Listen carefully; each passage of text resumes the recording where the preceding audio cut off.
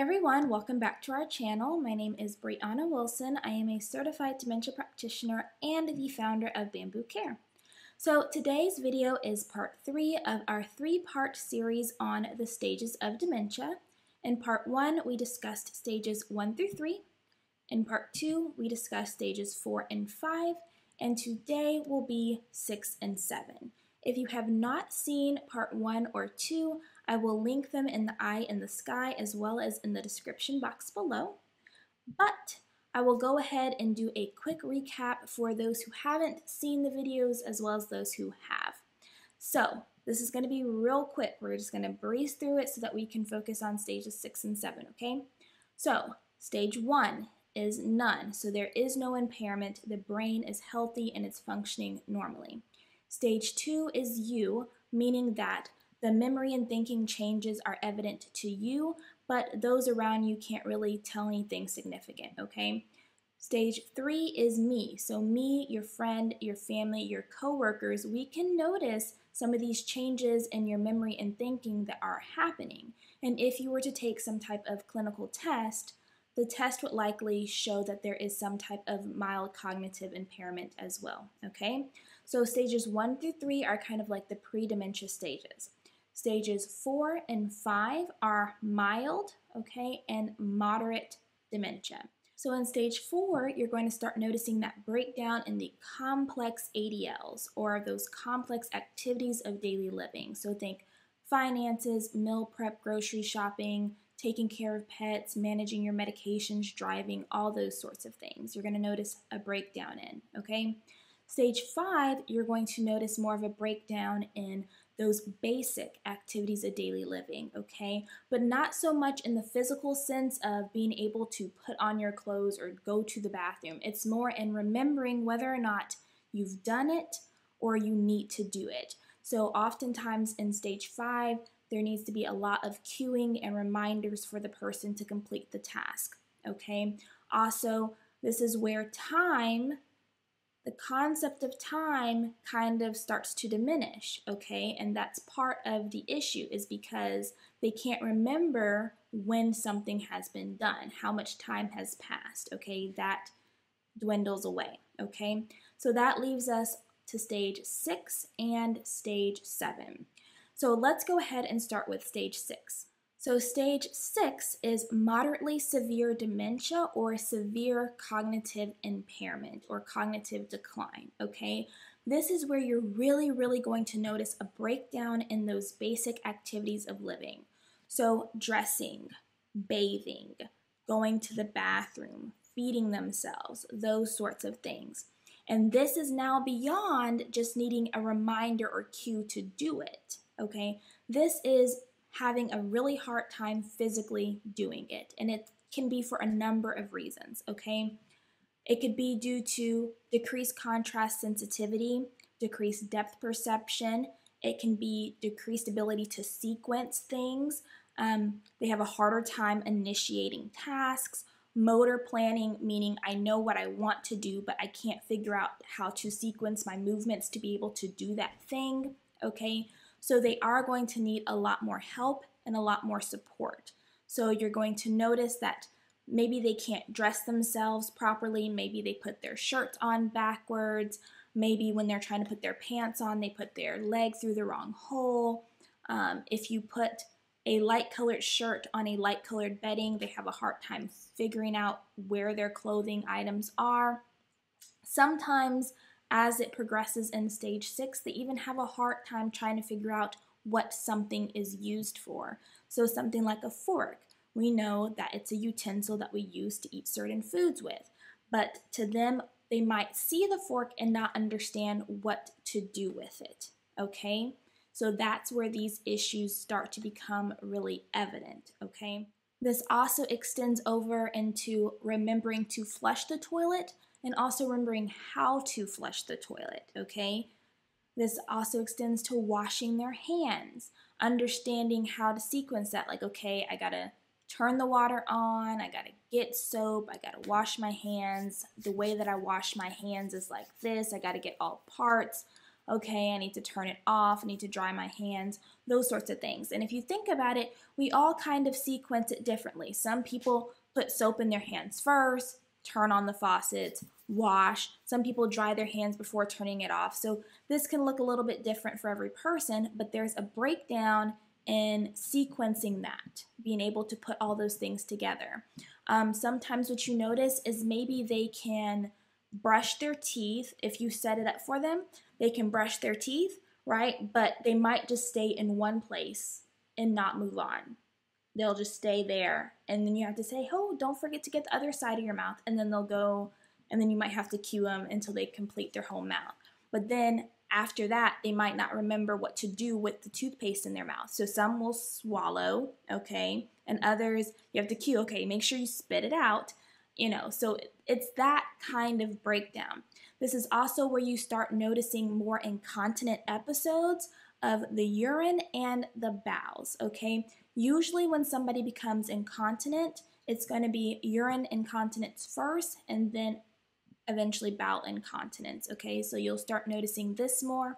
You'll also start noticing more episodes of them urinating or defecating in odd places, like, for example, maybe they'll urinate in a trash can or in a plant, or um, you might notice that they're having a hard time just making it to the bathroom in general. You may also start noticing changes in things like their sleep patterns or in their personality and behaviors. So maybe you notice they're becoming increasingly more agitated or aggressive, or maybe this is where they start having more delusions or hallucinations, or maybe they start wandering more, which can become problematic as well. Okay. Another thing we have to think about is time. So in stage five, I told you that there was kind of this breakdown in the concept of time. So that concept of time is more so 20 minutes feeling like two hours, or two hours feeling like 20 minutes, or one day feeling like 30 minutes. You know, this concept of time is kind of fluid. But in stage six, what you start noticing is that it's almost as if they're on a whole separate timeline, and then there still is this diminished concept of time within the timeline. So, for example, say your name is Amy, you're the daughter, okay? You are 52 years old. Sometimes what happens is it's not necessarily that they don't remember that they have a daughter and that their daughter's name is Amy, but the Amy that they remember is on a separate timeline. So maybe the Amy that they remember is eight year old Amy, not 52 year old Amy. So if they ask you, Where's Amy? Have you seen Amy? And you're thinking, I'm right here. What do you mean? I'm right here. Usually it's because the Amy that they're remembering is on a separate timeline. So it's not necessarily that they don't remember you, it's just that the 52 year old you and the 8 year old you is not you. Does that make sense? So in stage six, you really start noticing that they're kind of on this separate timeline in a sense. And this timeline can change. So one day they can be here, okay? And then another day or a few days later, they can be here. It just kind of depends, okay? Another thing that kind of throws people off is that there can be these fluctuating moments of confusion and lucidity where some days they're just like really, really confused and they're really somewhere else, okay? And then there's other days where it seems like they kind of have a better feel for what's going on and who you are and things like that. So that kind of throws people off because they don't understand why that's happening. And it's just the brain. The brain is a very amazing thing. It's very complex and we know very little about it. Is the easiest way to explain it, okay? Another thing you'll start noticing is increased difficulty with speech as well as decreased inability to like be able to count backwards from say like 10 being able to say 10 9 8 7 6 5 4 3 2 1 that diminishes okay also they might occasionally forget the names of their spouse or their children or things like that again it might fluctuate But usually, not always, it kind of just depends where they're at in their timeline, but usually they can recognize familiar faces in the sense like, oh, you look familiar. I recognize you. You don't. Because I've had quite a few patients where they can't remember my name, but they can remember that they've seen me before, okay? They don't remember what I was there for, why, what, you know, but they just remember that's a recognizable face, okay? So, but that varies. So it kind of just depends. So, stage six can be incredibly difficult for care partners because not only is your partner now needing more assist, but now you're getting these increased episodes of incontinence, which makes things difficult. Plus, you may notice changes in their sleep patterns, right? You may notice changes in their personality or behavior, right? And so, all this together can create some especially unique challenges that you are faced with.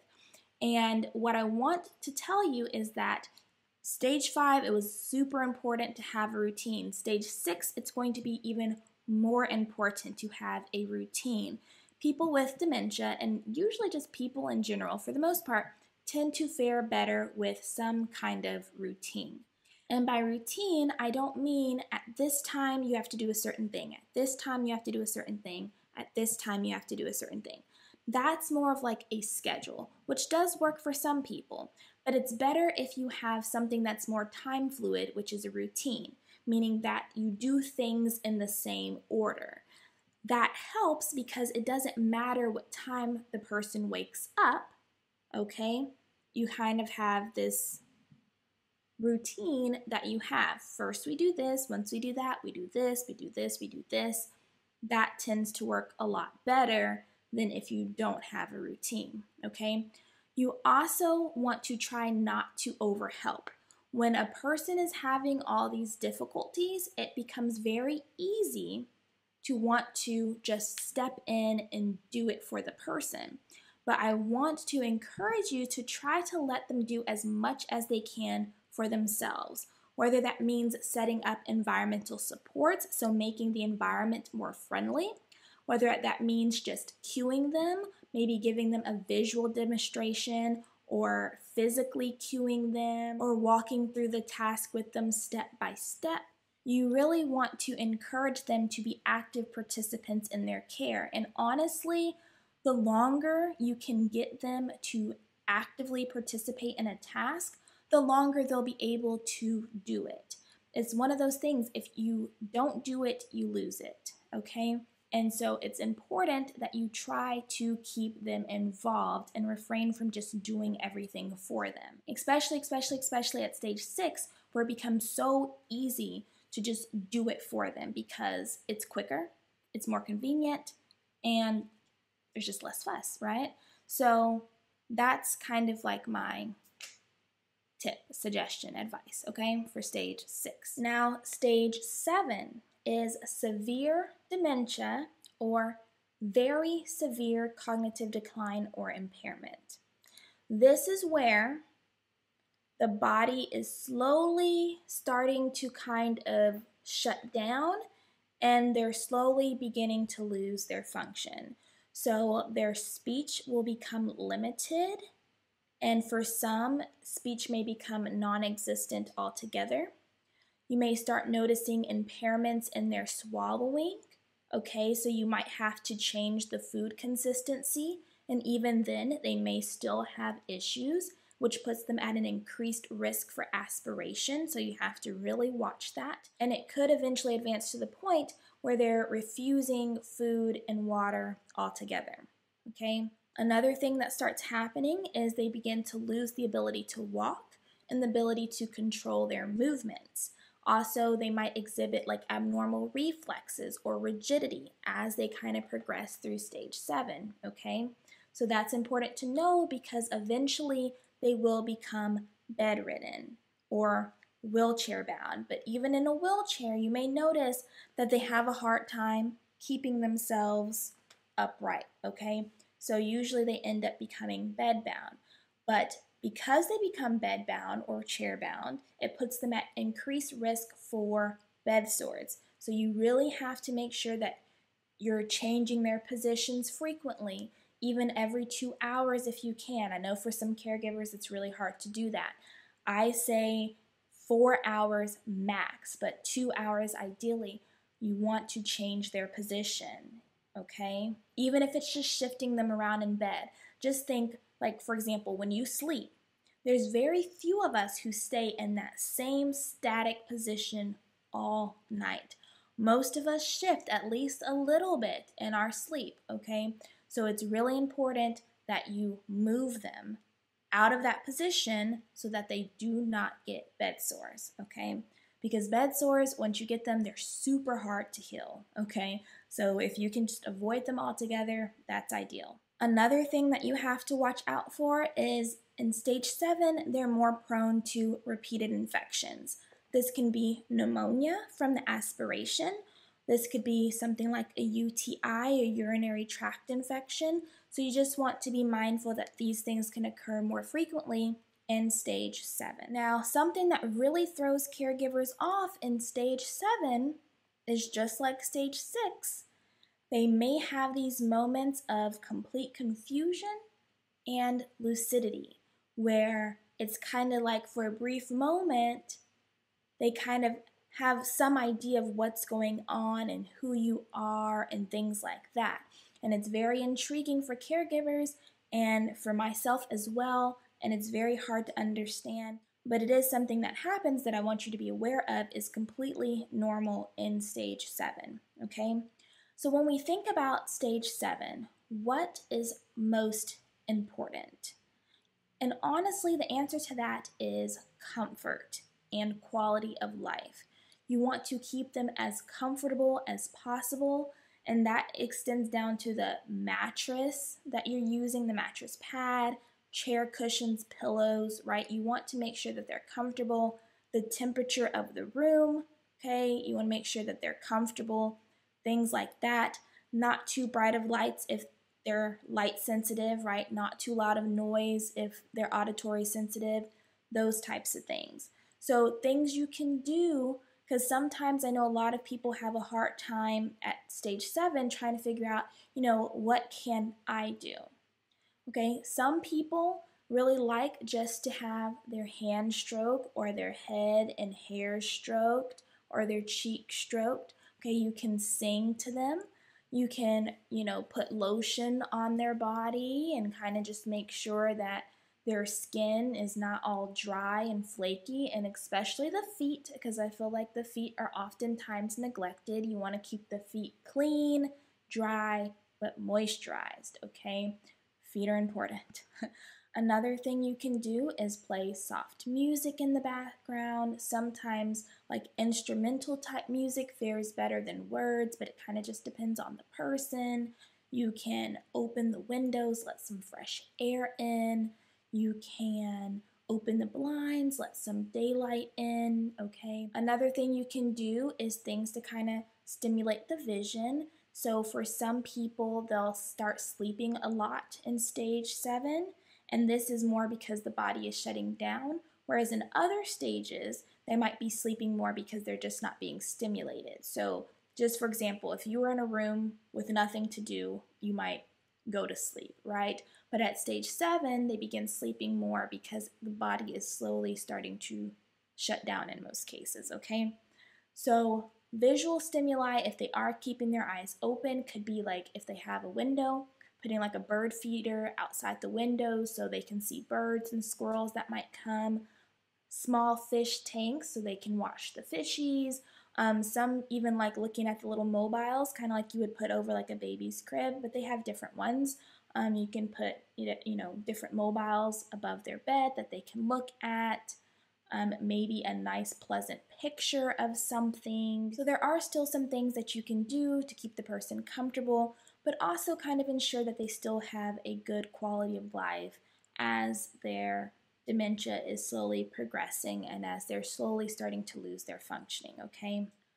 So, those are the last two final stages, six and seven, which is moderately severe dementia and severe dementia.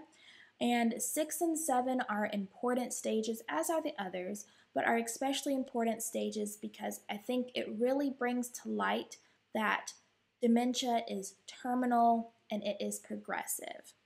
And the unfortunate thing about dementia, if the person does not pass away from something else like a heart attack, a stroke, complications due to diabetes, um, like pneumonia or some type of infection, they ultimately will pass away due to their dementia because the brain is dying and the body is shutting down. Okay?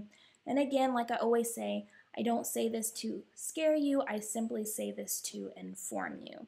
This is why when a person gets the diagnosis of dementia, it's important that you start planning and preparing because as the dementia progresses, which the timeline looks a little bit different for everybody as far as how they progress through these stages, what that looks like, though that differs, the end result is fairly the same, okay? For most people, no matter what type of dementia they may have, stages six and seven look very, very similar, okay? So I just want you to keep that in mind. I really do hope that this video was helpful and informative as well as the other two parts of this series. If you have any questions about any of the stages, whether it be one, two, three, four, five, six, seven, please leave a comment down in the comment section, or if you feel more comfortable, you can email us. You can find that in the description box below. Also remember you can find our website as well as all of our social media links in the description box as well. And until next time.